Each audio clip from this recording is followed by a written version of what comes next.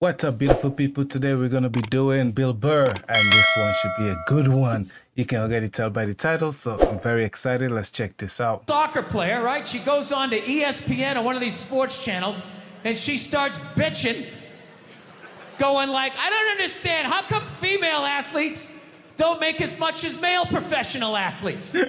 Right? And all of these men had to sit there and act like they didn't know what the answer was. They had to sit there like dumbfounded, like, oh, uh, I don't know. Uh, why is that? Uh, that is a conundrum. I have, I have no idea. Literally, I'm sitting at home screaming at the TV because you don't sell any fucking tickets. Nobody is going to women's soccer games. You're playing in a 20,000 seat arena. 1,500 people show up. That's not a good night. The promoter lost his fucking ass on that gig. I'm not saying no professional female athletes, Serena Williams, the women in the UFC, you know, but nobody's watching your fucking sport. And then you're gonna come and you're gonna get mad at fucking men. They keep doing that shit. Why are you yelling at us? It's not our fucking job. It's not my fucking job to give a fuck about women's soccer, okay? I have men's sport to pay attention to. This is it's your bullshit, right? Dude, look at the WNBA. Dude, nobody in the WNBA got COVID. nobody. They have been playing in front of three to 400 people a night for a quarter of a century. Not to mention, it's a male subsidized league. We gave you a fucking league. None of you showed up. Where are all the feminists? That place should be packed with feminists. Faces painted, wearing jerseys, flashing their titties. Going fucking nuts like the guys do. In the upper deck with their big beer titties. Hey, am I on the Jumbotron? Am I doing it? Yeah. Oh my god. Oh my god. None of you, none of you went to the fucking games. None of you. You all, you failed them. Not me. Not men. Women failed. Oh my god. Ladies, ladies, name your top five all-time WNBA players of all time. Come on. That's it. Name five WNBA teams. Oh name Oh your my God. WNBA team in your fucking city. You can't do it. You don't give a fuck about them. They play Oh my God. out in front of nobody. It's a fucking tragedy. Oh. Wow. And then meanwhile, Well. you look at the Kardashians. They're making billions. Facts. You know those Real Housewife shows? They're making Facts. money hand over fist because that's what women are watching. the money listens. You want to watch this shit? You watch this shit? They just shoot it over there, drowning these whores in money. Purses and shoes and Botox. It's just raining. It's raining money. Facts. Yeah. Big facts. Big facts. the money listens. Yep. You'd rather watch that shit. Real Housewives, bunch of women just tearing each other down. well, maybe that's why your husband left you. Maybe that's why your husband left. That's why you can't have kids, bitch. That's why your ass is as flat as your titties, bitch, right? That's the message you sent. We would rather watch that than see a bunch of women come together as a, as a team and try to achieve a common goal. We would rather watch them actually fucking destroy each other. Yeah. No, no, no. And then at the end, you come back and you fucking yell at guys. Like, and it's like, all right, so get this straight. I have to buy you a drink, stop the axe murderer from coming through the fucking window. And I have to watch WNBA games, watch WNBA games for you. when are you gonna pick up your end of the couch?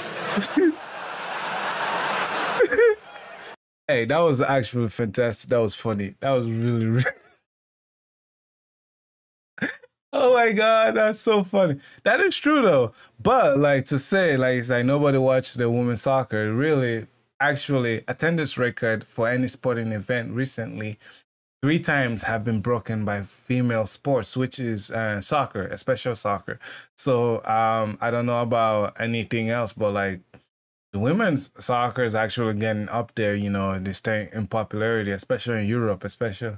Yeah, so shout out to England for winning their Euros. Since the men can do it, the women had to. You know, it came home finally, thanks to the women. You know, the men can't do it. But yeah, it, it's it's crazy.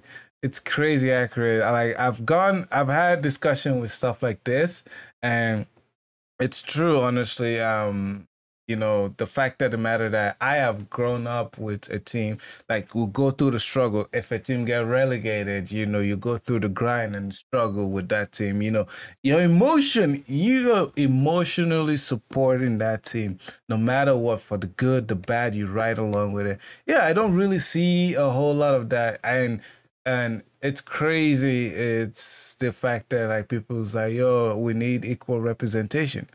True. Facts we do. Yes we do.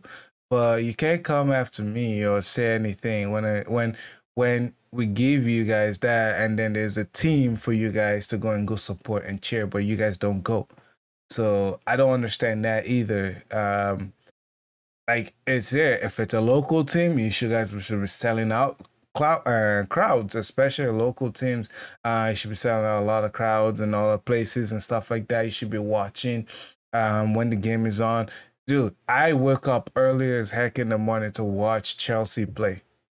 I'm in a different time zone. I'm here in America and they play in the UK. So obviously, um, I have to wake up to whatever time it is sometimes to watch it. If I miss it, you know what I do? I watch the highlights.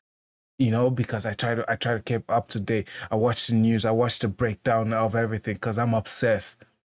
That's my tip. If someone is obsessed with something, they will do it. If somebody is obsessed with anything, they will do it.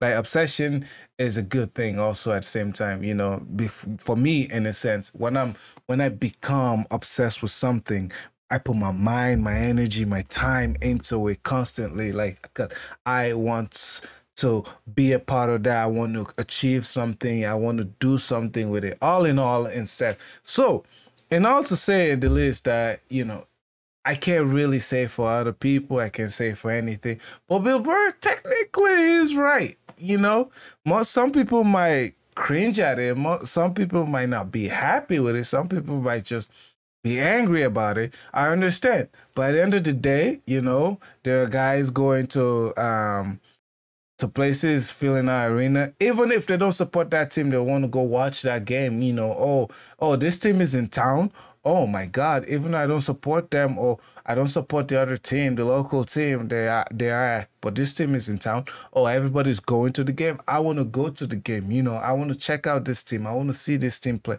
I've done that. Shoot, I've done that a lot of time. Because guess what? Those teams sometimes those teams you don't see them around one and often, and you really want to. It's the same recently uh, in Lambeau, where Man City and and I believe it was Man City and Liverpool played, and it was like it was crazy. No, Man City and Bayern Munich played, and it was crazy. You know, it was crazy packed. My friend went. I couldn't go because obviously, like the drive would have been too long for me, but and I wasn't prepared for it. But I really wanted to go. But you see, all my guy friends, they're just booking it and going. Pretty much, I'm just telling you, like, if you're serious about it and you really want to support anybody, your local team, you know, a local female uh, female team, go ahead and do it. No one is stopping you. Honestly, no one is stopping you. Go out, buy tickets, go buy merchandise, buy go to concession, you know, do all this to support it.